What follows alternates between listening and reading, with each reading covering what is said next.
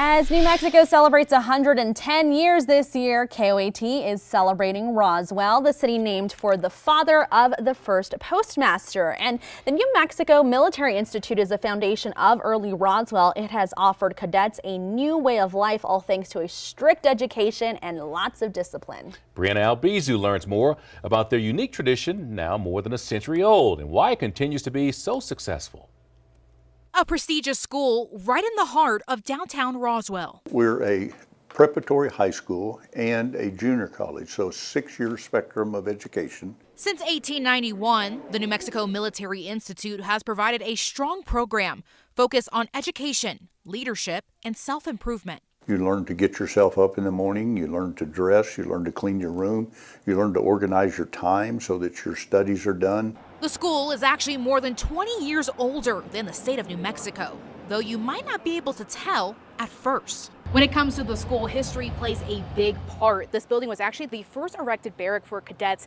It was built in 1909, and you can really tell from the bricks here. Now, as you can see, it's a little red on this side, but as you get further up, it gets a lot lighter. It really shows you just how much they've built over the past century. The way you say new start is, is really what it is. You know, it, it it takes a lot of sacrifice. Throughout the school year, cadets are met with a strict schedule from early morning formation to late night study hall. Like Charles Noel, the California native said he made his own decision to attend the school and hasn't looked back since. Just wanted to change in my life. You know, I wasn't really doing anything. I was just wasting potential, so I, I decided to make a, a bold change and come here. Neither has Barbara Getz, who's from Brazil.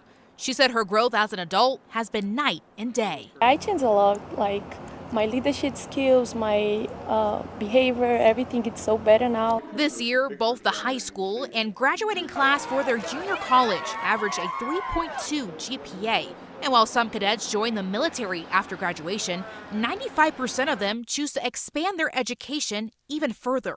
This past year, we had eight direct entries into all the service academies. We have students in Ivy League schools. We have students really go wherever they want to. Megan Byers is a proud alumna. She attended the Institute from 2010 to 2016 after falling in love with the campus. She also came from the Mescalero Apache Reservation. I had applied and came and did the interview and I got in. It was something I wanted to be a part of. Byers now works as a teacher in Hobbs, but she still makes time to visit her old stomping grounds. There are so many memories and you meet people that you that just stick with you for life. You know, you meet lifelong friends, um, people that become family. Um, the culture here is very inclusive and you learn to support one another. A place she hopes everyone can consider and experience for a chance at a better and brighter future. You know, I never thought I could get in, and I got in, and six years later, there I was, you know, and it gives you that upper hand in life, you know, that you know you can be successful no matter what you do. For Celebrate New Mexico, I'm Brianna Albizu.